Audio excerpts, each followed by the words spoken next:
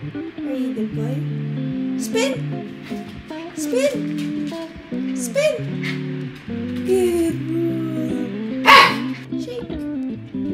Good boy!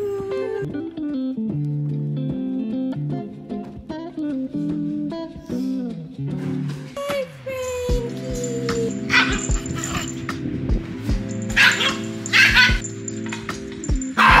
One,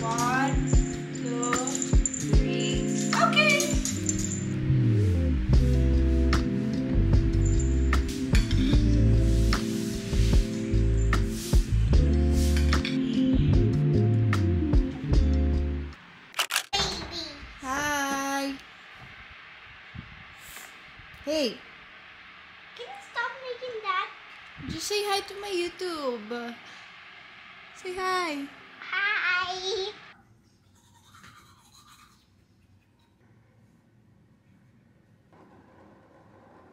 Hi guys! Good morning. Ay, good afternoon na pala. It's 1.05 p.m. And today is July 27.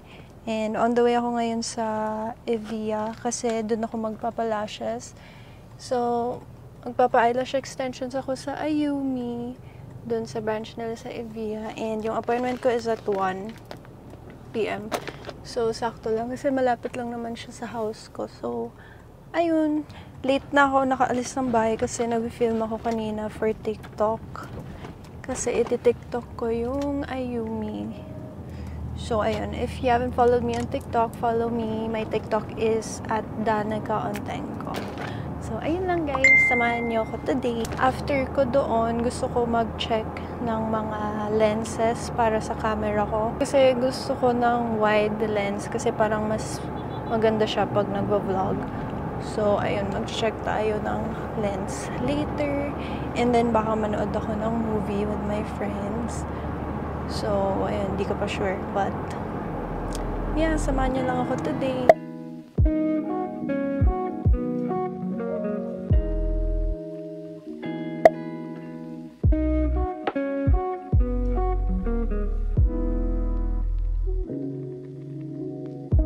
So, I accidentally filmed in slow motion again, kaya nag-voice record na lang ako for this clip kasi wala na naman tong audio kasi nga slow motion. So, I went to Alabang Town Center to check Henry's camera kasi nandun yung mga lens na gusto ko i-check.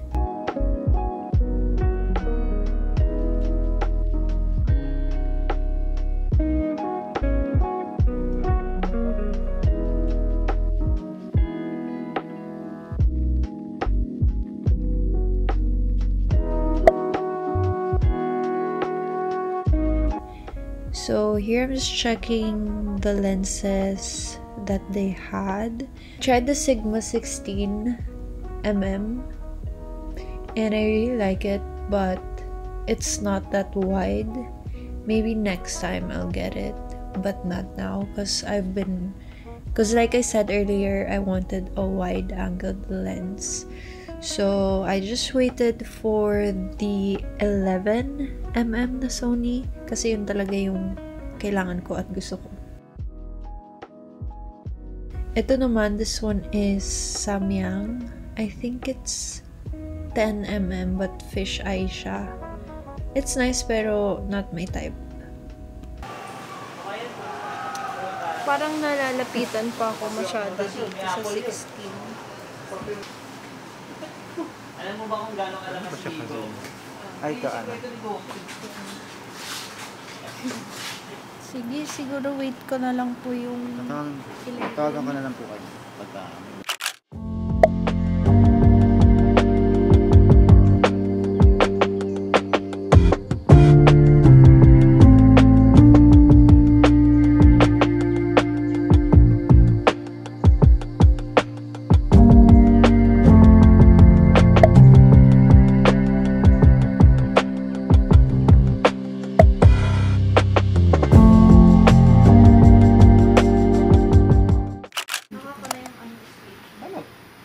Kinabahan ako kasi nagsusundo.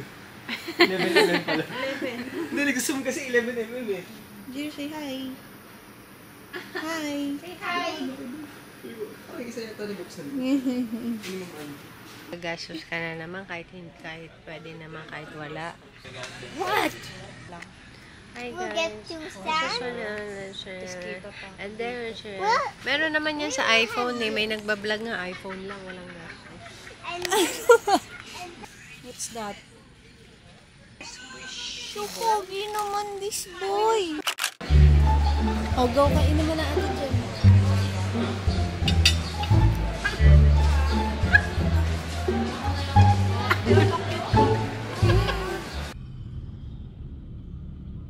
I'm so happy because the lens is here. I finally bought the lens that I've been wanting to get. Ayan guys, sobrang wide angle nitong lens na to. This is cranky. If you guys are wondering, I got the Sony 11mm 1.8 lens. Ito yung box niya. And nakakabit na siya ngayon sa ZVE 10 ko. And it's so much better. Well, for me, mas gusto ko yung ganito ka-wide kesa sa kit lens ko na masyadong malapit sa face. So, I hope you guys like my new lens. Sana gusto niyo yung quality na to. And obviously, dahil bumili ako ng bagong lens, I'm gonna make more content for you guys. More vlogs. So, I hope you guys are excited because I'm excited. Bye guys. Bye. Hi everyone. Urong ko ba to? Ay! So I was editing this video last night and it was a short vlog. So today I'm gonna make it long by showing you guys some of the packages I got recently. Actually, matagal ko na tong mga nakuha, pero gusto ko na siya i-unbox. So, unbox na lang natin siya. This is this one is from Paleo Pet. Paleo Pet. So, it's for my dogs. They sent me three, actually four boxes. Yung isa nabuksan ko na siya. But, they sent me a lot of goodies for my dogs. Si Mochi kasi nung puppy siya, tinry ko siya i-raw feed. Matakaw kasi si Mochi, so kahit ano talaga kinakain niya. Ang hirap mag-raw feed, guys. So, ngayon naka-dog food na siya. But sometimes I like to switch with wet food and then dry food, ganyan. Para, kasi guys, ang wet food mas healthy. Actually, hindi lahat ng wet food. But I know Paleo Pet is really healthy for your dogs. So, kasi human grade meat ba yun? So, ayun. Feeling ko su- sobrang sarap nito for them. Kasi, pag binibigay ko to sa dogs ko, naamoy ko siya ang bango, guys. This first box is full of treats. So, we have pork liver, pork heart, beef liver, beef heart, chicken breast jerky, chicken liver and heart. Yung mga food nila hindi lang for dogs, pwede rin sa cats. And ayan, nakalagay 100% human grade chicken, grain-free, all-natural, gently air-dried. So yeah, favorite to ni Mochi. Actually, lahat favorite niya kasi nga matako siya. Come here! Come here! Tingnan mo, lalapit yan dito. Come here! Come here!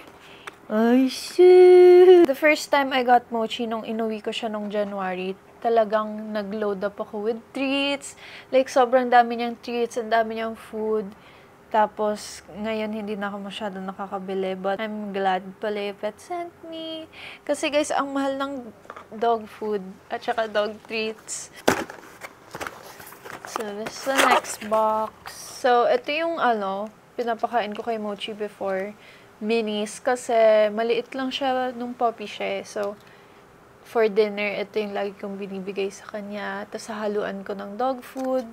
So, they have it in beef, pork, and chicken. This is their extra small pouch. So, if you have small dogs, perfect na to for them.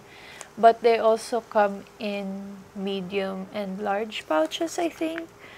So, ayan. They gave me four pouches of beef, four pouches of the pork, four of the chicken. Pero isi-share ko yan kay Frankie, tsaka kay Whiskey. Whiskey is our giant poodle na wala ngayon dito sa bahay kasi pinatraining namin siya. And Frankie naman is Jiro's dog, yung maliit. Guys, ang liit nun, parang mag 8 months na siya, tas hindi na siya lumaki. The last box. La, ito yung mga big pouches nila. So, they put here another beef heart. And we have another chicken breast jerky. And ito yung malalaking pouch. Ay! Small pouch lang to. Parang ang laki na. So, ayan, may beef na naman. They gave me three beef pouches. So, tatlo din ng chicken and tatlo ng pork. Ayan, guys. Sobrang dami. Mochi, are you excited? Are you excited to eat? Yay! Thank you, Paleo Pet. Show them your tricks. Wait lang po. Ito yung laman ng, what is this? Chicken breast jerky. Ganyan siya. Tapos, binibigay ko pa konti-konti kay Mochi. Shake. Good boy! Spin! Asus, asus naman. Spin! Spin! Good boy! Down. Down. Good boy. Pick! Pick! Ay! Wala naman! Pick! Pick! This one! Okay, so the next few things that I want to show you are from Shein Home. Di ko alam if alam nyo na, pero sobrang ganda ng mga home decor sa Shein, tapos mura pa. So, the first thing that I got, this rug, na super soft. Ganyan siya. Straight lang siya na rug. And, ang type ko kasi sa room is all white. Favorite color ko yung white. And, I like it kasi malinis tignan. I also got this really cute uh, tissue holder. Ceramic siya, so it's nice quality. Cream colored siya. This one naman is really cute. I like this vase thing. Braid ko binili tong pampas grass na fake pampas. This one, I wouldn't really recommend kasi hindi siya yung gusto kong itsura na ah, pampas. Cute siya, pero maliit lang. Gusto ko nung mas malaki, tsaka mas fluffy. And then I got this mirror. Para siyang white na wavy, small mirror lang. Di ko alam kung saan ko to lalagay, but cute lang siya. I got another rug. Kasi maganda yung mga rugs sa Shein, guys. Maganda yung quality and madaming design. But since I like white, puro mga white yung pinagbibili ko. And it's anti-slip. That is everything I got from Shein Home. Magaganda din yung bedsheets nila kasi nag-order ako before. And, ayun, mura pa. So, check nyo guys yung Shein Home. Anyway, I think that is it for this video. I hope you guys enjoyed watching today's vlog. And I'll see you guys in my next one. Bye!